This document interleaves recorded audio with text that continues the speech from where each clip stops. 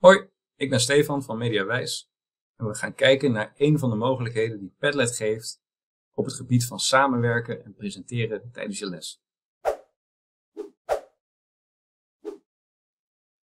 Padlet is een tool waarmee je het bord in je lokaal kunt inzetten als een interactief prikbord. Hiermee kun je leerlingen digitaal betrekken bij je les. In deze video gaan we kijken naar hoe we een bord kunnen maken. Je hebt in een voorgaande video al kunnen zien hoe je een canvas kan maken. We gaan nu kijken wat we nog meer kunnen doen. Wij gaan kijken hoe we kolommen gaan gebruiken tijdens de les. Dan druk je op selecteren en daarmee maakt hij eigenlijk automatisch al een Padlet. Nou, je kan in het begin kan je heel veel zelf al instellen. Ehm, je kan hem een titel geven. En bij deze is het Padlet tutorial. Dan komt er nog een ondertitel bij. Wat kun je ermee? En hierin kun je ook andere zaken doen. En wat heel belangrijk is, als je je leerlingen wil laten invullen, is het handig om dat wel aan te zetten. Um, ook om te reageren op elkaars berichten kun je hier dat aanstellen en aanklikken. En wat ik zelf altijd wel interessant vind, is dat ze elkaars berichten leuk kunnen vinden. We hoeven er niet hele uh, lijsten met commentaar onder, maar dan is het gewoon een hoeveelheid hartjes. Nou, dit zijn alle instellingen die ik gedaan heb, waarbij ik um, ja, eigenlijk wel het goed vind zo. Uh, je kunt hierbij uh, nog één ding aanklikken en dat is bij de bijdrage dat daar de auteur van de naam van de auteur weergegeven wordt. Maar als het gaat over AVG is dat niet het meest handig om te doen. Dus die laat ik altijd uitstaan. We klikken op volgende en nu kunnen we beginnen.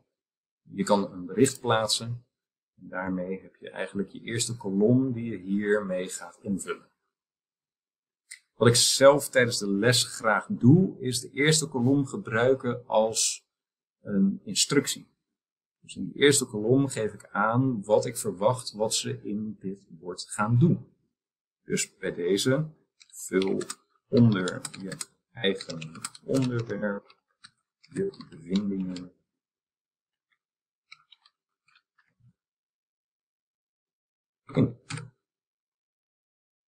Ik sla dit op en dat is de eerste kolom.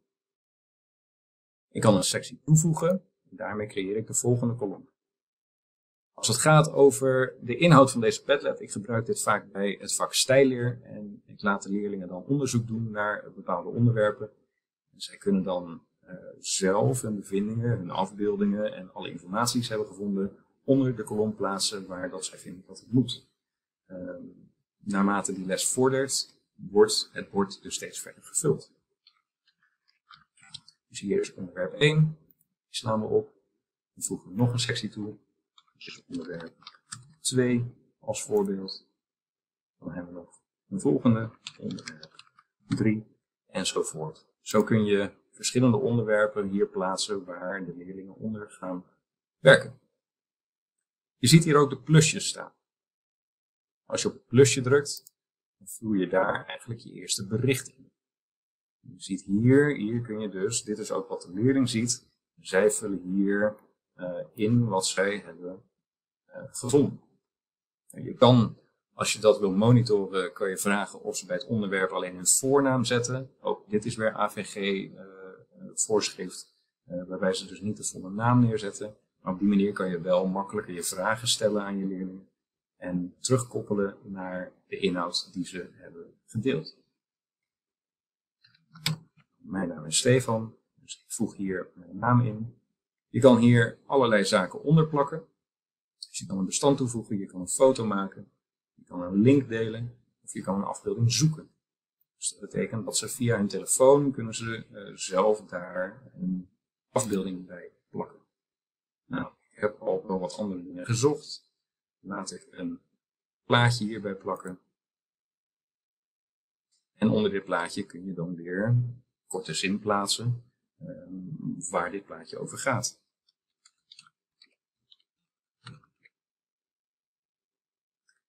En bij deze is het een prachtige tafel. Er zijn nog wat andere dingen die je in kan stellen tijdens het bericht. En dat is namelijk de kleur van je vakje. Nou, laten we die in dit geval groen maken. En als ik op publiceren klik, dan komt mijn bericht in deze kolom eronder.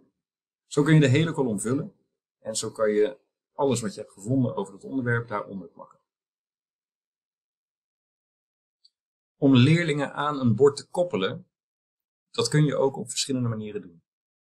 Je ziet rechtsboven zie je een knop met delen.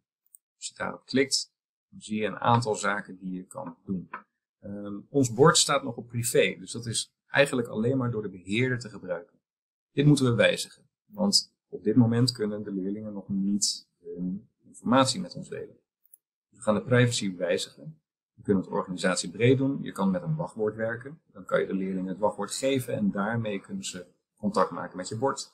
Of je kan hem geheim maken. Op die manier kan je ook nog steeds je leerlingen met het bord uh, uh, in contact brengen. Alleen is hij dan niet voor iedereen openbaar te zien.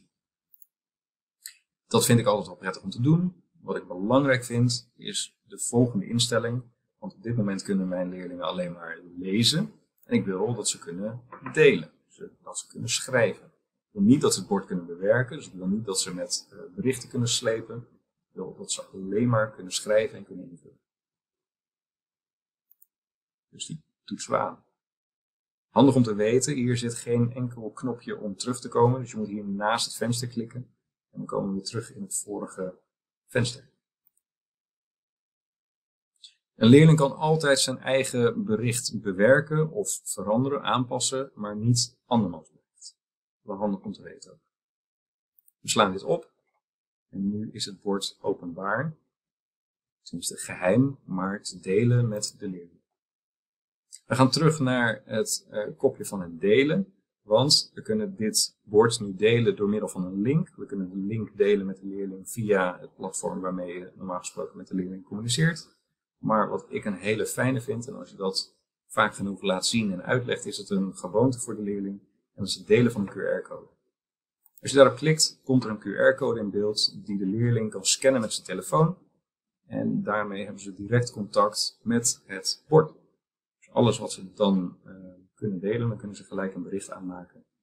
Je kan dit ook natuurlijk op de beamer bevriezen en dan kan je zelf kan je monitoren wat er gebeurt op het bord. Want ook dan hou je wel een beetje controle. Goed, daar klikken we ook weer naast. Um, er zijn een aantal verschillende manieren om dit te delen. We komen hier straks ook nog terug uh, op het moment dat de les afgelopen is. Je kan er dan voor kiezen om de leerlingen met elkaar die informatie te komen delen. Dus het is ook een hartstikke goede manier om eigenlijk een presentatie tot stand te laten komen. Wat je kan doen tijdens de les is leerlingen naar het bord laten komen en die kunnen op het bord hun berichten aanklikken en hun informatie toelichten. Door op een plaatje te klikken wordt het plaatje groot en kunnen ze daardoor weer beter delen. Door op het kruisje te klikken ga je terug naar het bord en kan je weer verder scrollen naar je volgende berichten. Op die manier kun je ook van de verschillende onderwerpen die er zijn, zien hoe en wat de leerlingen hebben onderzocht. En op die manier leren ze van alle onderwerpen leren ze iets. Dus in die samenwerkingsvorm komen ze eigenlijk achter veel meer informatie dan alleen maar hun eigen onderwerp. Wat je achteraf kan doen om de inhoud van dit bord niet kwijt te raken, is dat je ook deze totale inhoud, inhoud weer kan delen met de hele groep. Dat doen we ook bij delen. En daarmee kun je verder naar beneden scrollen je ziet dat je het bord kan opslaan als een afbeelding of bijvoorbeeld als een pdf. Als je dat doet, dan heb je een gesloten versie van dit bord en die kan je daarna weer delen met de leerling, zodat ze de onderwerpen van de les ook weer terug kunnen lezen en dat nog een keer kunnen herhalen. We hebben nu gekeken naar wat je met Padlet allemaal kan doen op het gebied van samenwerken en hoe je je bord in kan zetten als een interactief presentatiemiddel. Je kan hierbij dus je informatie delen, je kan hem invullen en je kan je hele klas betrekken bij het onderwerp van je les.